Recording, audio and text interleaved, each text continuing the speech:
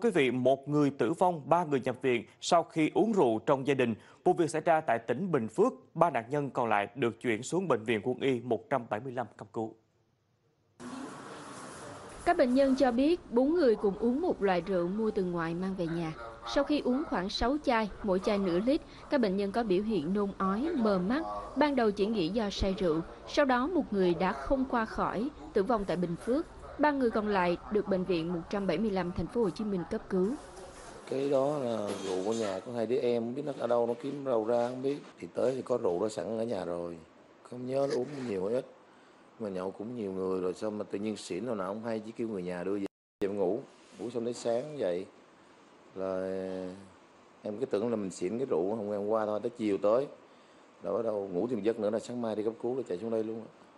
Bệnh nhân vào thì trong trường đọc những độc ngộ độc nặng của cái methanol, chi giác của bệnh nhân này là lơ mơ.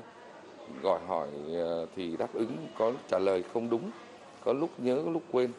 Cái thứ hai là tình trạng có bắt đầu biểu hiện của một cái suy hô hấp. Sau một ngày lọc máu liên tục, bệnh nhân đáp ứng tốt, sức khỏe dần hồi phục. Thời gian qua, Bệnh viện Quân y 175 cũng tiếp nhận nhiều trường hợp ngộ độc methanol nặng.